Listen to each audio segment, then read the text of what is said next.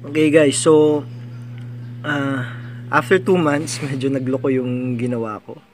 So, dito yung continuation ng thread or yung post about paano uh, ma-activate yung chime. Um, yung sa uh, driver side, wala siyang problema. Dito tayo nagkaroon ng problema. Anyway, um, kung ano man yung gagawin dito is basically the same thing na gagawin mo doon so walang problema-problema. Okay? So, umpisahan ko na kung paano. First is, you have to remove this tool. At dahil wala akong tools for that, ito ang gagamitin ko. Yan. Tsaka ito yung isa naman, para ipag-mount ko na yung wires kasi feeling ko medyo na-discourage siya kasi nga laging naka-engage. Dahil nga syempre pag hindi siya naka-engage mag-alarm siya mag-alarm okay? So let's go. So once na natanggal mo siya ito. So dalawang screw lang siya mabubuksan mo na yung buckle. Pag nabuksan mo yung buckle yan. Ganyan magiging itsura niyan. Okay? So may dalawang wire dito. Para makita nyo mas mabuti. Para makita nyo mas mabuti pagka binuksan mo siya pag naka-engage siya that's the basic principle pag naka-engage siya dapat maghihiwala yung dalawang wires. Okay?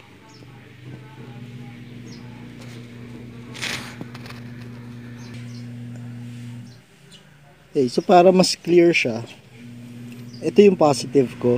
Ito yung nilagay ko sa positive. Minount ko lang siya dito using glue gun. Tapos medyo binol ko lang yung nandito para mag pagka mag aano siya pagka mag pagka naka-disengage siya pag pumasok to magdidikit sila noon ng wire dito sa kabila. Kaso in this case ang nangyari ata is medyo na ano na yung wire dito. So kailangan ko lang siyang i-reball okay, so okay, para mas clear yung illustration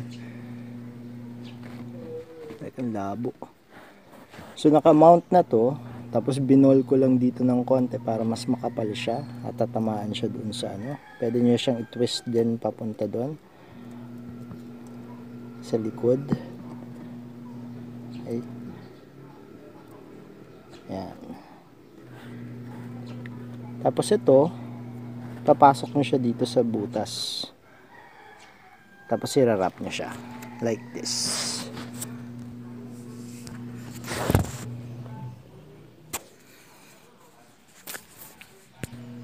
Make sure lang na mahaba siya kasi kailangan mo siyang iikot ng maraming beses para makapal siya dito sa top portion para ma-meet niya itong wire dito sa nasa taas. So yan iikot mo lang siya dyan.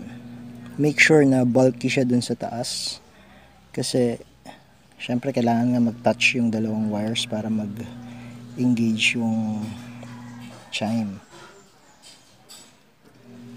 Okay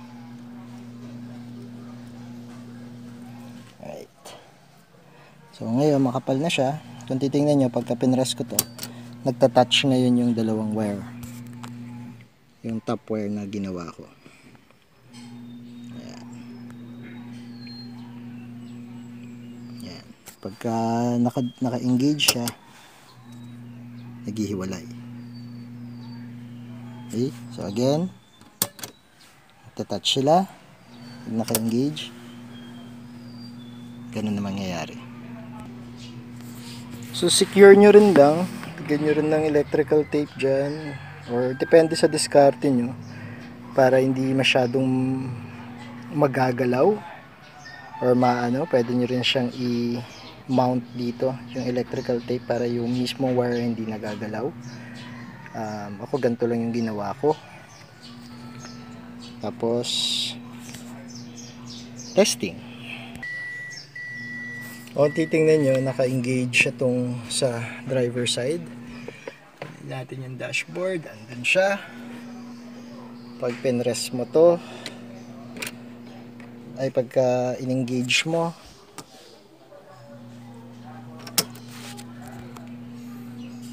ah, wala siya. Ayan. Tapos pagka pinindot mo to, nag-engage siya, andun na ulit siya. Okay? Alright, so ulitin lang natin, dalawang wire lang ang kailangan mo. Sa taas, you can mount it using glue gun. Yun yung ginawa ko dito. Make sure na merong naka-expose na wire dun sa taas. You can ball it that way. Iwasan yung tatama siya sa mga bakal. Tapos yung dito, pasok mo lang dun sa butas, dun sa gray portion.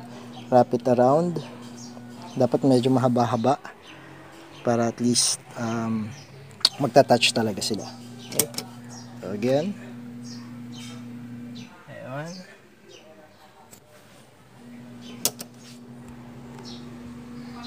Wala.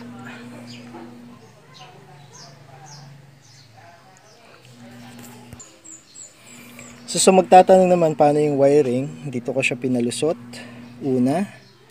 Tapos dito. Tapos I had to remove this portion. This part. Ito. Kasi hindi mo siya maisusuksok dito dahil nga yung pinaka pinaka socket niya is under the passengers ay the driver side. So yun papalusutin mo lang siya doon. Okay? Papakita ko naman sa inyo kung paano winire doon sa kabila. Okay, so once na ilusot mo na siya, ito yung gagawin mo dun sa other side. Okay. Um, in my case kasi, since dalawa yung naka-engage, kailangan ko siyang i-wrap then together with the other wire. Ito naman yung nasa driver side ko. Ito. Okay. So, ganun din. Kung ano yung wiring mo dun sa kabila, basically is the same wiring style na gagawin mo dun sa isa rin para hindi siya magulo. Um, same purpose rin lang naman yan. Okay, so before ko siya i-mount dun sa mismong socket sa baba, yung socket para sa activation, ganyan ang ginawa ko. Bin, inano ko siya para matulis dahil syempre ma, para may, may suksok mo dun sa ano, sa socket. Okay? Again, kung nagtataka kayo bakit dalawa siya, kasi naka-engage pati ito. At saka dun sa kabila. Okay? Okay, sa ilalim naman tayo. Ito yung dapat mong hanapin. Meron siyang socket dito sa taas. Ah, sorry. Parang harness dyan sa taas. Yung kulay white na yun. Doon siya dapat nakaipit. Okay? So bago natin i-mount, nakita natin yung ano, kung saan yung socket. Uh, baka magtaka kayo bakit dito ko nilagay. Um, kasi ayoko ng mga kalat-kalat yung wirings. Um, tsaka mas accessible siya at this point. Anyway, pwede nyo rin gawin sa ilalim. Depende sa inyo. Kasi since mas okay dito, parang mas ano siya, mas secured, hindi siya tinatamaan masyado ng mga ibang wire. Tsaka pagka tinatanggal mo yung jack sa baba, at least hindi mo magagalaw yung mga wirings. Okay? So dito ko siya nilagay. So at this point, um, pinagsama ko lang sila kasi nga sabi ko nga dalawa yung naka-engage sa akin. Tapos ipapasok nyo na siya doon. So tandaan nyo lang kung saan yung positive tsaka yung negative nyo. Actually hindi naman siya ganun ka-necessary pero ganun din ginawa ko. Um, dito naman sa socket, dito yung positive, sa right side, sa left side naman yung negative. Okay, so ganyan magiging itsura niya. Mamaya isi-secure natin. Siyempre ang pinaka-importante dito ay test muna natin. So testing muna bago natin i-fix yung mga wirings, i-secure. Kapag in-open natin, andyan siya. Okay. Di-disengage natin tong isa kasi hindi ko pa naibalik. Andun pa rin siya. Susuot natin tong seatbelt ko.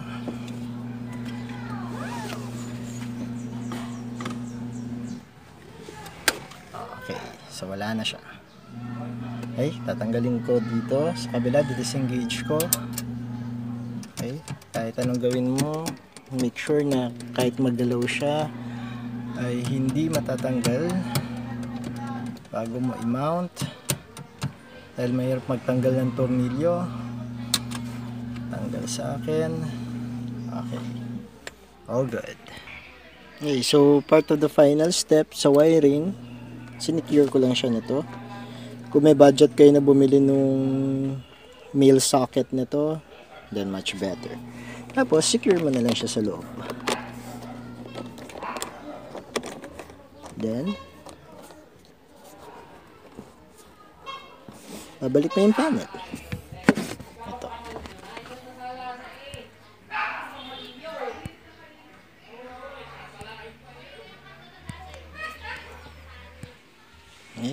So, mounted na siya. Last and final step is, of course, ibabalik mo na ito. Tip lang mga papi ah. Ba- before nyo i-screw,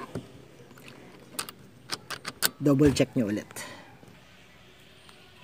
Alright, so mounted na ulit yung buckle pero hindi pa screwed. Double check. Okay. Unahin nyo muna yung dito. Driver side. O kaya kung driver side lang talaga ginawa nyo, di testingin nyo. Galawin nyo. Make sure na hindi siya magbi-blink kasi ibig sabihin. Tapos yung kabila. Okay. Galawin mo.